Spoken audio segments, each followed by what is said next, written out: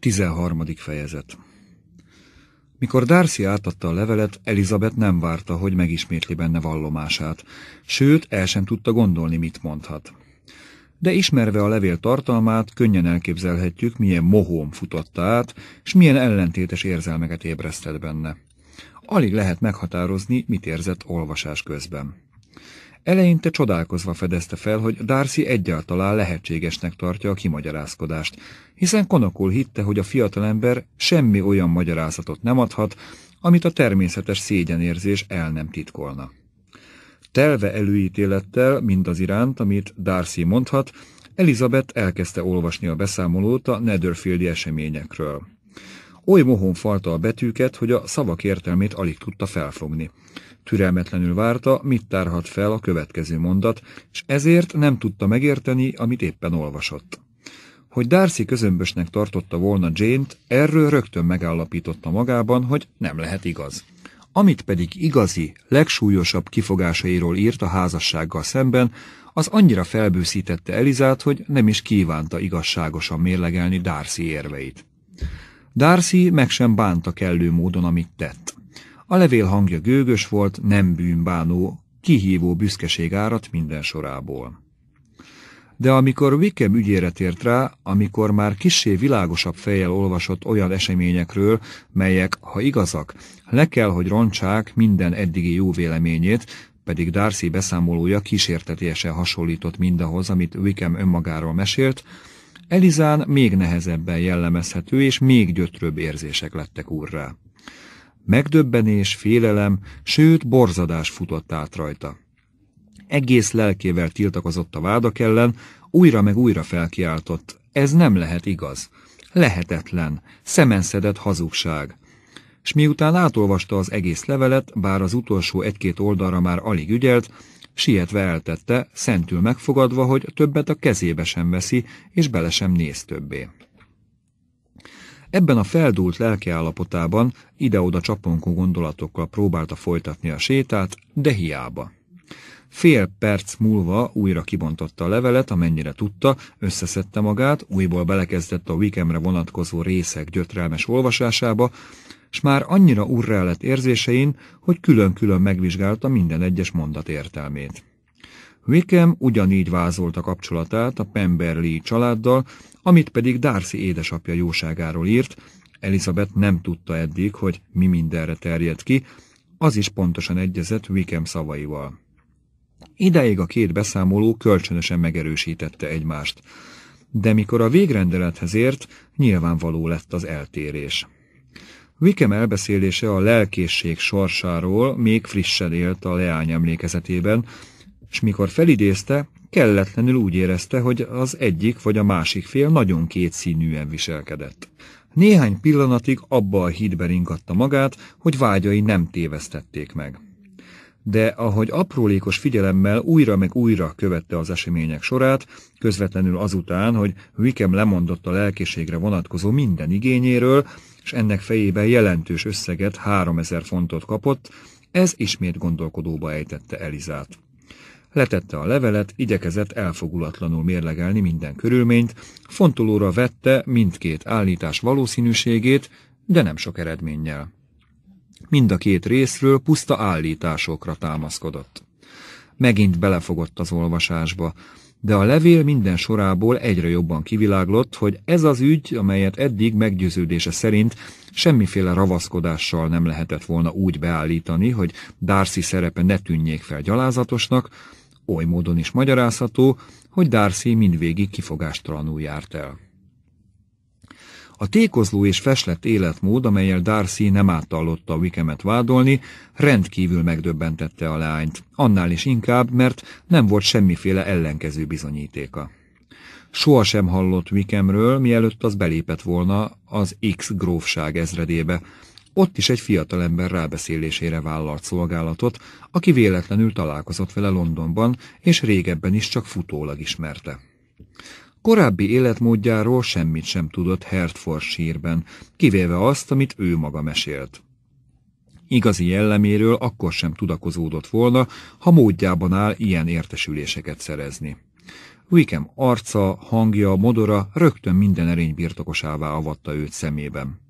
Próbált visszaemlékezni valamilyen jó cselekedetére, a becsület vagy a jó akarat valamilyen jelére, amely megvédte volna őt Darcy támadásaitól, vagy legalább értékes tulajdonságaira utalva ellensúlyozhatta alkalmi botlásait. Elizabeth ide szerette volna sorolni mindazt, amit Darcy tunya és kicsapongó életmódnak nevezett.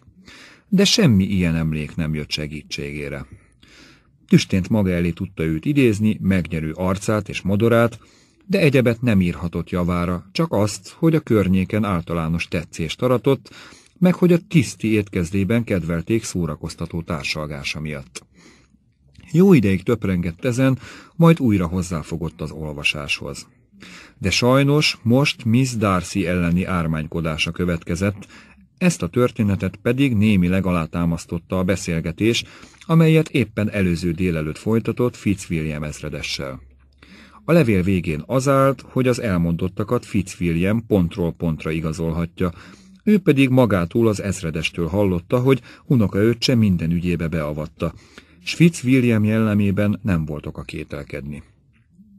Egy pillanatra már majdnem elszánta magát, hogy az ezredeshez fordul, de visszariadt a fonák kéréstől, s végül elűzte magától a gondolatot, jól tudva, hogy Darcy nem kockáztathatott volna meg ilyen javaslatot, ha nincs meggyőződve, hogy unokabátyja mindenben megerősíti állításait. Elizabeth pontosan emlékezett Wickhemmel folytatott beszélgetésére, amikor első este találkoztak Philipszéknél. Nem egy szava frissen megmaradt emlékezetében. Most hirtelen ráeszmélt, milyen illetlenség volt ilyesmit kitálalnia egy idegennek, s csodálkozott, hogy eddig ez nem jutott eszébe. Látta, hogy Vikem tapintatlanul tolakodóan viselkedett, és eljárása nem egyezett fennel hangoztatott elveivel.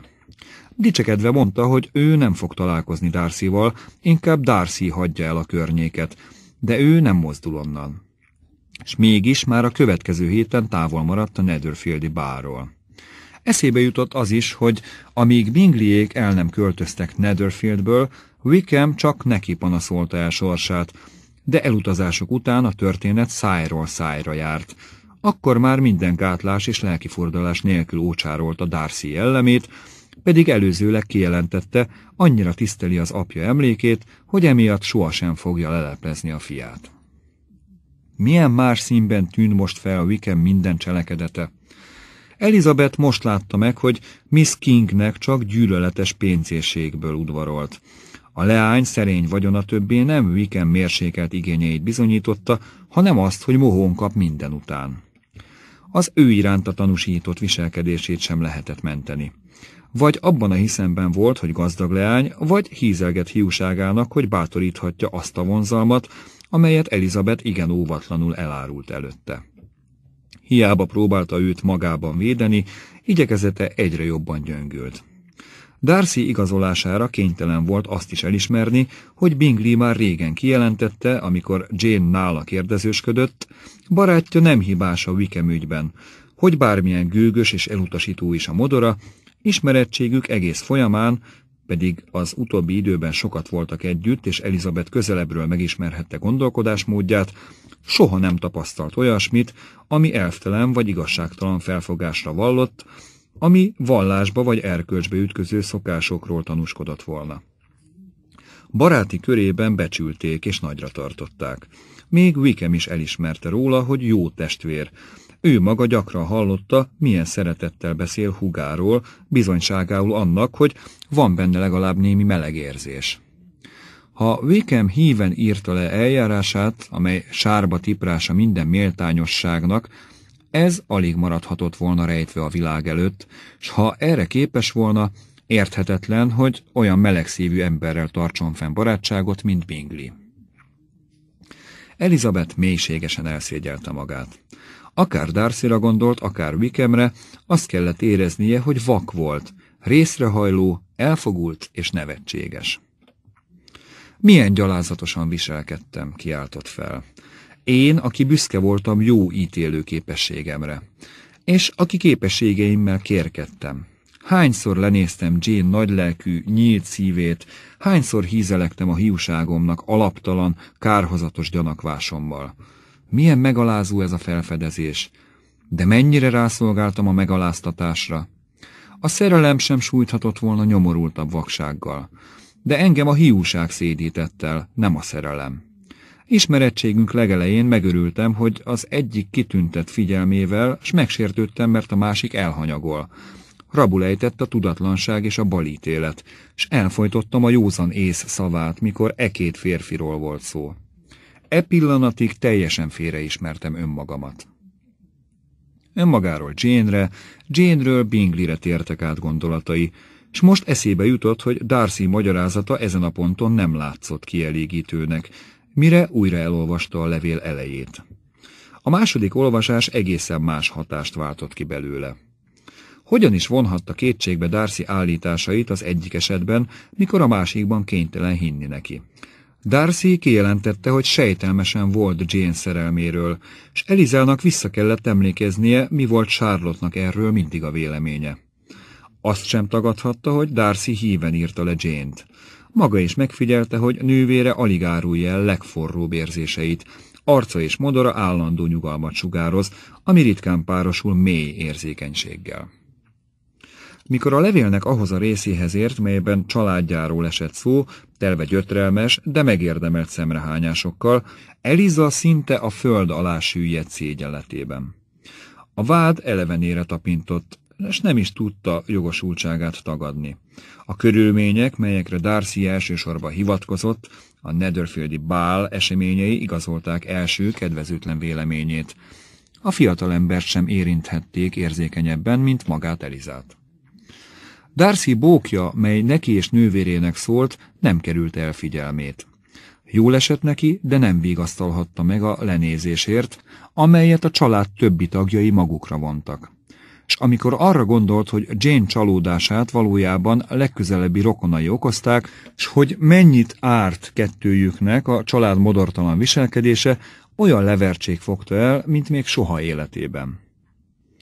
Két óra hosszat kóborolt az erdei úton, ezerfélét gondolva magában, újra meg újra felidézte az eseményeket, fontolgatta a lehetőségeket, és próbált beletörődni, amennyire tőle telt, a váratlan és fontos változásba, míg végre eszébe jutott, milyen régóta van távol, és a fáradtság is hazatérésre bírta.